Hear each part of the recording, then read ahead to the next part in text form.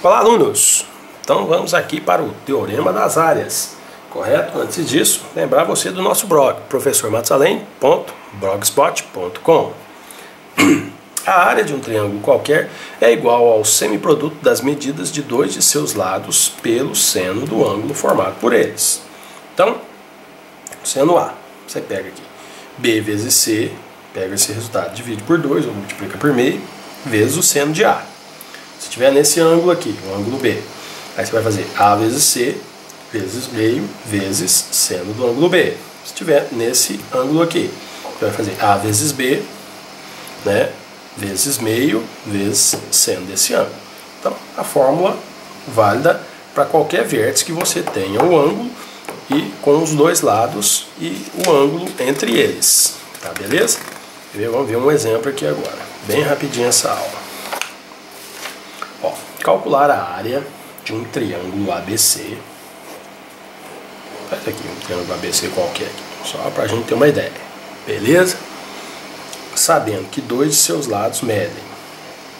Lado C, 4 raiz de 3. E B, B, 6. E o ângulo formado entre eles é 60. E aqui é 60.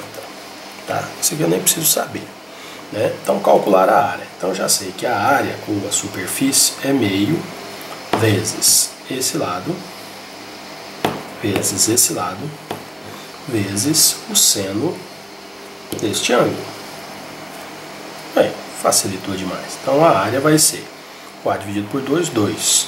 2 raiz de 3 vezes 6, 12 raiz de 3 vezes seno de 60, que é raiz de 3 sobre 2 a área vai ser 12 dividido por 2, 6 vezes raiz de 3 vezes raiz de 3, a raiz de 9, que é 3. Então a área do triângulo será 18, lá está em centímetros, centímetros quadrados. Bem fácil, tá? Bem, então com esse exemplo encerramos mais esse capítulo aí, finalizando a trigonometria, tá? Assistam todos os vídeos, sempre esteja com o livro do lado, Tá? Estude bastante que você vai conseguir os seus objetivos. Um abraço.